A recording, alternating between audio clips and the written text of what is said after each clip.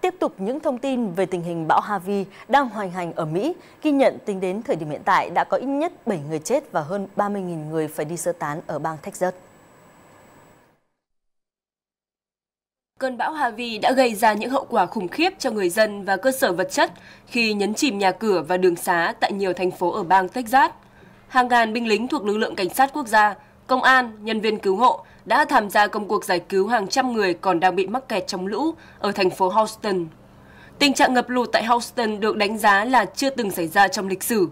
Lượng mưa ở Texas phổ biến từ 338 mm đến 762 mm, có nơi lên tới 1.270 mm. Con số này tiệm cận mức kỷ lục 1.524 mm, vốn chỉ xảy ra một lần trong hàng triệu năm mà người Mỹ hay nhắc đến. Cơ quan cứu hộ ở Texas ước tính sẽ phải mất hàng tháng, thậm chí cả năm để khắc phục thiệt hại sau khi siêu bão Harvey đi qua.